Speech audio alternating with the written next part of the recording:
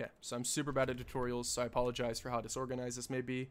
I'm going to briefly explain a few things, do the skip a few times so you can see the inputs, and then I'm going to talk about some other things. So if you're just here for the inputs, the first half of this video is what you're here for. Two things to note. One is for the third jump, I use controller. Second thing is, once my first uh, lineup is set up, such as this, I will no longer adjust my camera. This includes moving my mouse, and this includes the right analog stick on my controller. So anyways, like I said, if you're just here for the inputs, here you go. Try not to waste anyone's time. And then afterwards, I'll talk about the inputs, I'll talk about the general lineup, and I'll talk about some other things. This is not much slower than uh, Angel Skip with full controller. Uh, if anything, you're just losing a few inputs based on the four-way directional control of keyboard as opposed to the full control you have with analog stick, the full 360. So I feel like that should suffice for inputs, and I'm going to talk about some things. So the rest of this you might find kind of pointless or redundant, but I feel it's important to cover all bases. So, first thing, bindings. The reason I have the bindings set up as they are is because I use controller for the third jump.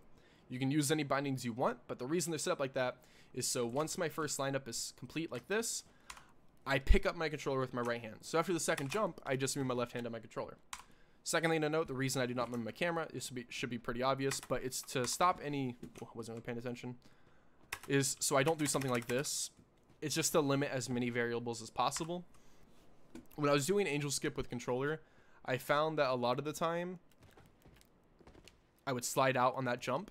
See, that's what, uh, well, fuck. but I would slide out on the second jump, um, so I just decided to start doing mouse and keyboard, and because of how, uh, precise the inputs are, I found it to be a lot more consistent.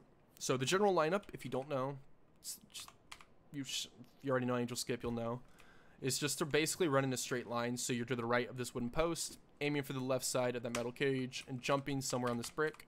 Make sure you don't aim too far to the left. You kind of want to aim about where my uh, health bar is, somewhere around there.